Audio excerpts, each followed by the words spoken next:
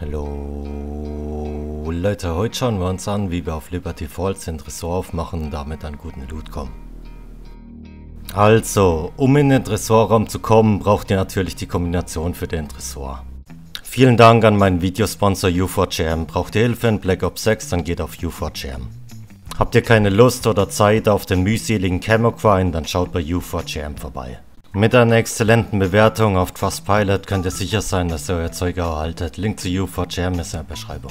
Die Kombination steht auf drei Zetteln hier auf der Map, die sind immer am selben Ort. Der erste ist hier im Comicbuchladen. Die Zahlen sind immer random, die richtige Reihenfolge erkennt ihr daran, dass zum Beispiel die Zahl hier in der Mitte steht und links und rechts noch ein Platz frei ist, also ist das die mittlere Zahl. Der nächste Zettel liegt hier bei der Bowlinganlage.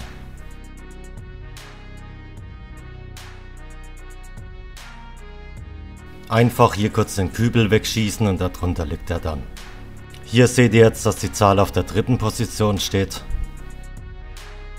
Und der letzte Zettel liegt direkt gegenüber von der Bowlinganlage in der Bank, wo auch der Tresor ist. Einfach hier auf den Dresen und hier habt ihr dann die dritte Zahl. So, jetzt haben wir unsere Kombination und geben die einfach am Tresor ein, also 10, 04 und 11.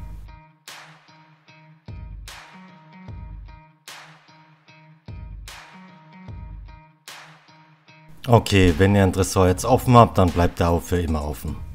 In den Tresorraum sind kleine Schließfächer, wo ihr den guten Loot findet, dafür braucht ihr Schlüssel. Den Schlüssel droppen die Boss-Zombies, also Mengler oder die Mini-Abdomination.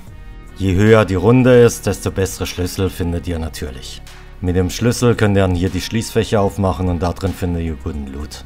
So Sachen wie Ausrüstung, Essenz, Abschussserien etc.